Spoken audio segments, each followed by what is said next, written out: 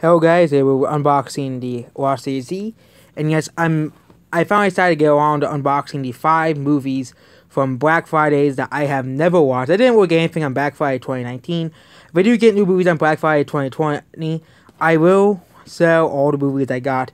Last month I got no last year I just got Spider-Man Far Home. The unboxing is on the site called BitChute, so yeah, that's the only way you can see it. And yes, we have this based on the best-selling true story and yes, he was all the people. And yes, I the reason I didn't upload Spider Man one, two, I didn't even do the unboxing of John Wick or Spider Man the Spider Verse because of the whole COPPA thing. I was so scared of that, that I didn't put them on YouTube. But now I know that doesn't really affect anything because I know most of the people who watch my videos, or at least all of them, are over the age of 13. And also, this is, I think, yeah, it's a PG 14. And, and Jason Bourne, I did the last one. Oh, not even, I thought it was R rated. Jason Bourne, yes.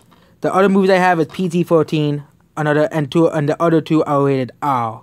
So yeah, there's no kids movies here. The only you know, and even the the the closest movie that I have unboxed. I'm gonna open the plastic first because the plastic is bad. The closest movies that I've opened that you know I I consider for all audiences Sonic and Tom and Jerry collection.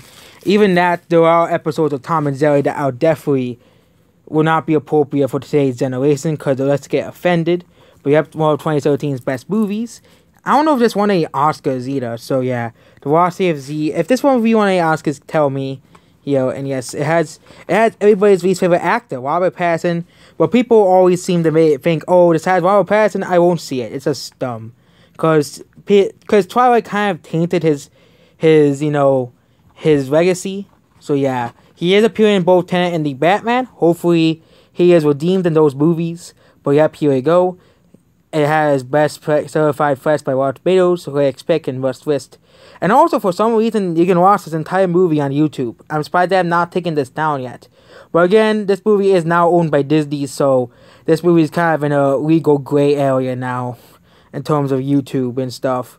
Because this movie is now owned by Disney, because guess what? This movie was made by Fox. So, yeah. YCFC 2016 Holdings and Artwork. Here, blah, blah, blah. Here, and yes. Yes, here you go. Amazon Studios. This is made by Amazon. Here. Maybe that's Amazon owns this movie now. Doesn't see any code. Nope.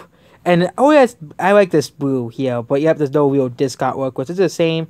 But, yeah, this is made by Amazon, so this is probably that's on Amazon.